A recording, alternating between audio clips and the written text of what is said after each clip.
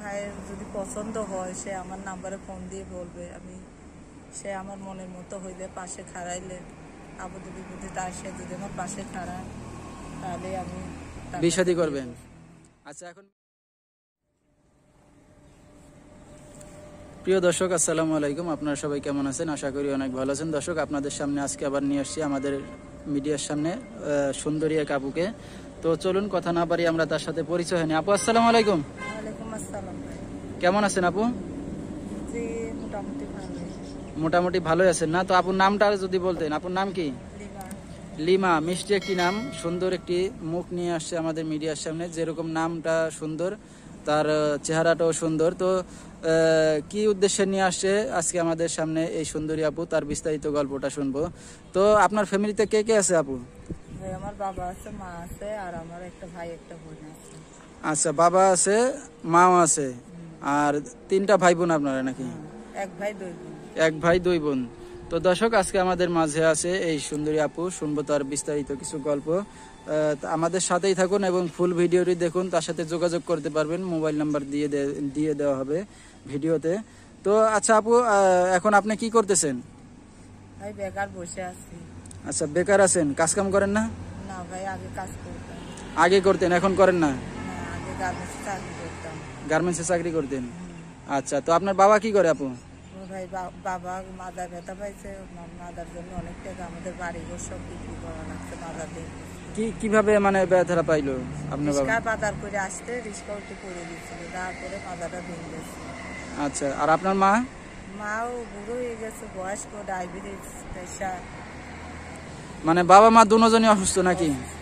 তাহলে আপনাদের ফ্যামিলিটা এখন কীভাবে চলে? এই যে আমি চালাতাম গার্বেজ করে। আপনি চালাইতেন গার্মেন্টস করে। এখন কোনো কাজ কাম করেন? না এখন দুই তিন মাস থেকে বসে আছি। তাহলে যে তিনটা মাস ধরে বসা আছেন তো আপনাদের ফ্যামিলিটা কীভাবে চলতেছে এখন? ফ্যামিলিটা আমার গয়নাকাটি ছিল এগুলো বিক্রি করছি। হাতে একটা টাচফোন ছিল এগুলো বিক্রি করে আমার মা বাবারে খাওয়াইতেছি। কিন্তু আমার বাবার চিকিৎসার জন্য আবার একটা অপারেশন হবে কোমরে অনেক টাকা লাগবে। আচ্ছা। যেমনি হোক, অনেক অসহায় আছি। টাকার জন্য বাবার অপারেশন করাইতে পারতেছি না। আর আমার চাকরিটাও তো চলে গেল। এই আমি পাঁচ, ছয়, সাত বছর ধরে চাকরিটা করছি। করার কারণে আমার তিন মাস শরীরে জ্বর ছিল। জ্বরের কারণে আমি যেতে পারিনি এদিকে পরে আমি গেছি জ্বর টর সুস্থ হয়ে। পরে আমার আর চাকরিতে ঢুকাইনি। কেন? আগে তো চাকরি করছি লেখা ছাড়া। সাইড দিয়া লাগে নেই। আর এখন সাইড চা কত রকমের আবার উল্টো পাল্টা লেখাপড়া ধরে। আমরা তো আর লেখাপড়া করি নাই। ছোটোবেলায় মা বাবুর সাথে বাইরে বাইরে ঘুরছি। লেখাপড়া করতে পারিনি এখন বড় সাইড চা নিজের নাম লিখতে চায়, বাবার নাম লিখতে কয়, আমরা তো লেখাপড়া পারি না। তাই আর চাকরিতে আমার লেই নেই। এখন আমি বেকার বসে আছি। আমি অপারেটার ছিলাম। আমার বেতন ছিল এগারো হাজার টাকা। আমার মাইনে মুইনে দিয়ে আমি বারো হাজার টাকা বেতন তুলতাম, বারো তেরো হাজার টাকা। আমি কারেন্টের মেশিন চালাতাম।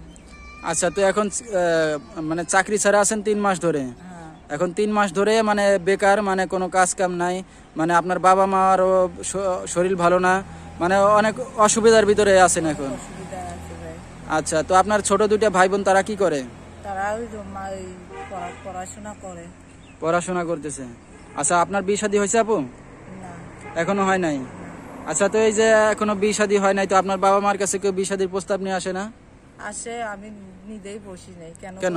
আমার মা বাবা আমার তো আর বড় ভাই নাই যে আমার মা বাবা দেখশুনো করবে। আমি একা আমি তো বড়। আচ্ছা তো বড়।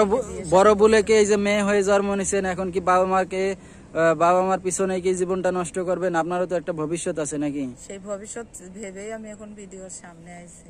আচ্ছা ভবিষ্যতে চিন্তা করে ভিডিও সামনে আসছেন। তো বিয়ে শাদী তো করতে আ- আসছেন না- আসেন নাই নাকি? না বিয়ে শাদী করতে চান ভিডিওর মধ্যে যদি কোনো ভাইয়ের যদি পছন্দ হয় সে আমার নাম্বারে ফোন দিয়ে বলবে। আমি সে আমার মনের মতো হইলে পাশে খাড়াইলে আপদে বিপদে তার সে যদি আমার পাশে খাড়ায় তাহলে আমি বিয়ে শাদী করবেন? আচ্ছা এখন মিডিয়াতে আসছেন যদি মিডিয়ার লোকজন কেউ যদি দেখে আপনাকে পছন্দ করে যদি আপনার পাশে দাঁড়ায় এমন একজন মানুষ পেলে জীবন সঙ্গী করবেন এই তো তো এই যে এখন আপনার এলাকার ভিতরে তো আছেন ছোট থেকে বড় হয়েছেন। তো এই পর্যন্ত কেউ আপনাকে বিয়ে শাদী করতে চায় নাই বা আপনাকে কেউ প্রেম ভালোবাসার অফার দেয় নাই? যে আমি আমি আপনাদের ফ্যামিলির দায়িত্ব নিব বা এরকম কেউ পান নাই আপনি এই পর্যন্ত? আমি তো ভিডিও করি নাই নতুন ভিডিও তো করেন নাই বুঝতে পারছি। তো আপনাদের এলাকার ভিতর থেকে কেউ আপনাকে এরকম কোনো প্রস্তাব দেয় না অফার দেয় নাই? না এরকম প্রস্তাব কেউ দেয় নাই কিন্তু এমনি ছেলেরা প্রস্তাব দিচ্ছে কিন্তু আমি নিজেই বিয়ে বসি নাই। কারণ আমার মা বাবারে ফেলে এই অবস্থা ফেলে রাখাটা উচিত না তো। আচ্ছা। এখন এখন বাবার একটা অপারেশন হইলে ডাক্তার বলবে বলছে ঠিক হয়ে যাবে। আচ্ছা অপারেশন হলে ঠিক হয়ে যাবে পরে সে নিজেই কাজ কাম করে খাইতে খাইতে পারবে। আচ্ছা ঠিক আছে তো দর্শক আমরা শুনতেছিলাম এই সুন্দরী আপুর জীবনের কিছু গল্প। তার এখনও বিয়ে শাদী হয় নাই। সে এখন চায় ভালো মনের একজন মানুষ যদি দায়িত্ব নিয়ে তার পাশে এসে দাঁড়ায় এমন একজন মানুষ পেলে সে জীবন সঙ্গী করবে। তো আপু আপনার সাথে দর্শক কীভাবে যোগাযোগ করবে? ভাই আমার আছে মোবাইলের মাধ্যমে। তো এই যে সুন্দর একটি মুখ নিয়ে আসছেন এই যে ফোন নাম্বারটা দিয়ে যাচ্ছেন অনেক দর্শক অনেক দিক থেকে ফোন দেবে কোনো সমস্যা হবে? না ফোন করুক আমার সাথে কথাবার্তা বলুক। কোনো সমস্যা হবে? না কোনো সমস্যা নেই। কোনো সমস্যা নেই? আচ্ছা তো আপনার নাম্বারটা আপনি বলতে পারবেন আমি বলে দিব? না আপনি বলে দিলে ভালো হয়। আচ্ছা তো দর্শক আমি তার নাম্বারটা বলে দিচ্ছি আপনারা সরাসরি এই নাম্বারে যোগাযোগ করলে লিমা লিমা নাম না? লিমাকে পেয়ে যাবেন সুন্দরী লিমা। বিয়ে শাদী হয় নাই, চাই ভালো মনের একজন মানুষ। তো দর্শক, আমি নাম্বারটা বলেছি লিমার zero one seven eight seven, three zero nine four one four. তো দর্শক, আমি নাম্বারটা আবার বলেছি zero one seven eight seven, three zero nine four one four. এই নাম্বারে আপনারা সরাসরি ফোন দিলে সুন্দরী লিমাকে পেয়ে যাবেন। তো লিমা, এই যে আমরা অনুষ্ঠানের শেষ পর্যায়ে, আমরা অনেক সময় ছিলাম আপনার সাথে। তো দর্শকদের উদ্দেশ্যে আর কিছু বলার আছে আপনার? হ্যাঁ ভাই বলা আছে। আমি একটা আপুর কাছে শুনছি, সে বলে অসহায় প্রতিবেদন করছিল সে নাকি সবাই বলে ফোন করে ইমু নাম্বার চায় তো ইমু নাম্বার না থাকলে ইমু নাম্বার কোথা থেকে দেবে সে? ওই ইমু ফোনটা থাকলে তো দেবে ভাই।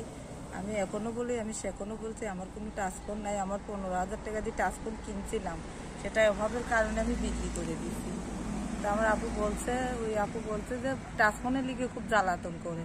যদি টাচ ফোনটা নাই থাকে, তা তারে কীভাবে তার নাম্বারটা দেবো? আচ্ছা মানে এখন টাচ ফোন নাই। অনেকে হয়তো ফোন করে হয়তো জিজ্ঞাবে যে ইমো নাম্বার আছে কিনা?